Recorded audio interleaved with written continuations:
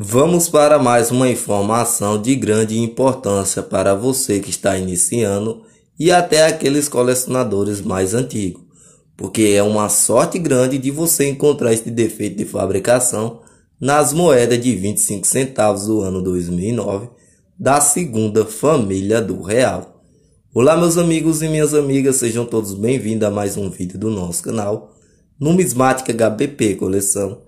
Convido a todos vocês a vir conhecer esse universo tão maravilhoso que é colecionar cédulas e moedas e no vídeo de hoje eu irei apresentar para todos vocês a moeda de 25 centavos do ano 2009 da segunda família do real com defeito de fabricação que faz dessa moeda ser uma moeda valiosa que está sendo muito procurada pelos colecionadores nos dias atuais.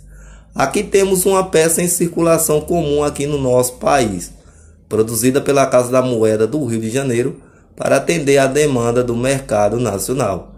E ela teve uma tiragem de 320 milhões de unidades, uma tiragem muito alta. Por esse motivo, o seu acesso é muito fácil no comércio do dia a dia. Analise toda a sua moeda. Reverso, como essa minha apresenta. Alinha a legenda centavos e faz o giro no seu padrão moeda para ver se ela possui reverso invertido e reverso horizontal. Se a sua peça apresentou como essa minha, ela é uma moeda comum.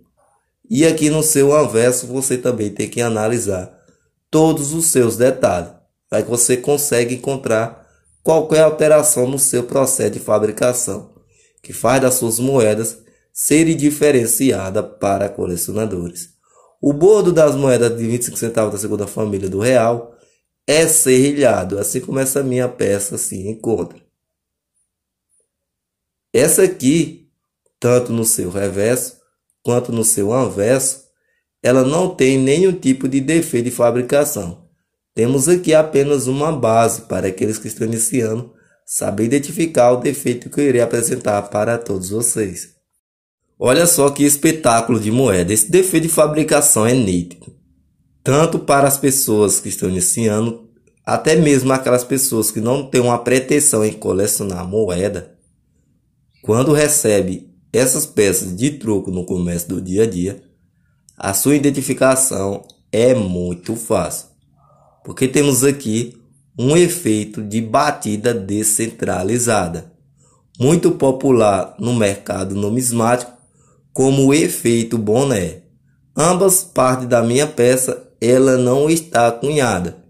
E no outro detalhe, ela apresenta uma descentralização. Parte da minha moeda que não existe borda na parte superior e na parte inferior temos uma meia lua sem cunhar sendo que nas minhas moedas comuns esse detalhe ele não vai aparecer. Faço giro para o seu anverso, no anverso aconteceu a mesma coisa. Ela está aqui na parte superior porque temos um alinhamento no padrão moeda. Por esse motivo, há um deslocamento do anverso para o reverso. Meia lua na parte de cima, não existe borda na parte de baixo. E quando ocorre esse efeito nas moedas de 25 centavos na segunda família, ela apresenta um bordo serrilhado. A grande maioria das suas peças vai apresentar uma borda lisa, assim como essa minha se encontra. Efeito diferenciado, porque as moedas de 25 centavos ela já vem para a casa da moeda com um bordo serrilhado. Mas quando acontece esse deslocamento, a grande maioria das suas moedas vai apresentar com uma borda lisa. Dois defeitos numa só peça, catalogados e diferenciados para colecionadores. Temos aqui a segunda edição do catálogo de moedas com erros atualizado 2021. E aqui temos a moeda de 25 centavos do ano 2021 com uma meia lua bem expressiva, assim como eu estou apresentando a minha. E aqui há várias datas reconhecidas. E você também pode estar encontrando em dados que não estão aqui, só que pode ter em circulação. O seu valor catalogado é de 150 a 250 reais. Esse valor são para moedas circuladas. Tem esse efeito aqui catalogado num valor bem expressivo, de 150 até 250 reais, porque a grande maioria dos colecionadores preza colecionar efeitos raros de estar tá aparecendo. E aqui temos um exemplo de vários. E quanto maior o deslocamento na sua moeda for, mais valor vai agregar na sua peça. Assim como essa minha se encontra, o seu valor comercial nos grupos de WhatsApp e Facebook varia de 90 até 180 reais. Pode ter também uma alteração tanto para mais quanto para menos. É uma moeda fantástica que no comércio do dia a dia ela não vai alterar em nenhum valor a não ser o seu valor facial que é de 25 centavos. Já para colecionadores, se a sua peça apresentar este efeito boné, ela tem valores diferenciados e uma moeda muito procurada.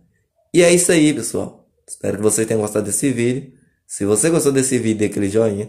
Compartilhe com seus amigos em suas redes sociais. Se inscreva no nosso canal. Ative o sininho para que quando novos vídeos for lançados, chegar em você em primeira mão. Fique com Deus. Um abraço e até a próxima.